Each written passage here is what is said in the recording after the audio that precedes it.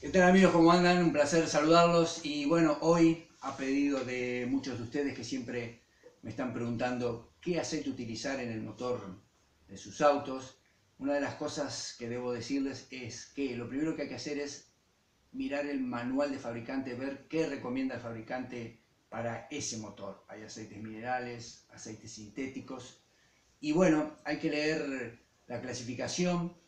Aquí lo que tengo en mis manos es un recuerdo, esto tiene más de 30 años, todavía la tengo cerrada, el aceite que, hay aquí es un aceite que se utilizaban en algunos motores de aquella época, un aceite monogrado, un aceite 40, pero lo importante era que ya venía con la clasificación porque algunos motores eh, era necesario utilizar este aceite. Y bueno, así que lo primero que debo decirles es que miren el manual, lean la clasificación y busquen una marca reconocida o una marca de preferencia que cumpla con la clasificación, con los requisitos de lubricación para el motor de su auto.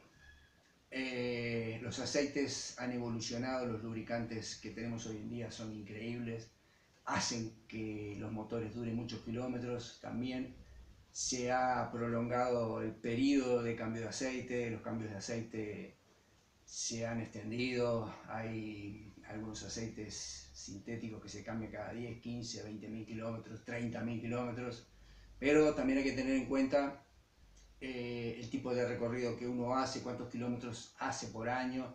Si uno no llega a los kilómetros recomendados, hay que cambiarlo por tiempo. El, el, aceite en el cárter de motor va perdiendo las propiedades y bueno, es necesario sustituirlo. Así que les vuelvo a repetir, lo primero que tienen que hacer es leer el manual y ver qué recomendación se pide para ese motor.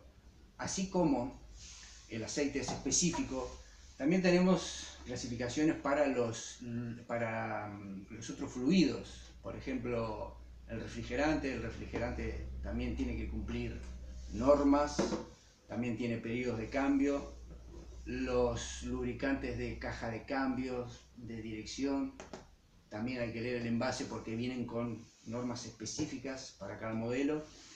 Y no se olviden del el líquido de frenos. El líquido de frenos también es un líquido específico y todo eso está en el manual y si no está en el manual hoy en día es muy fácil averiguar qué lleva cada motor. Y no se olviden que los fluidos y los lubricantes están específicamente diseñados también para eh, la zona del mundo donde uno viva. Hay que tener en cuenta el clima. Y bueno, otra de las cosas que les digo, personalmente eh, en el aceite no es conveniente agregar aditivos. Un buen aceite ya tiene todos los aditivos, tiene un paquete químico con todo lo que necesita el motor y no es necesario agregarle nada extraño. Si uno le agrega cosas al aceite, está rompiendo un paquete, un, un paquete que fue diseñado específicamente, agregándole cosas extrañas que sinceramente no van a beneficiar en nada. Así que bueno, les mando un abrazo y nos vemos pronto.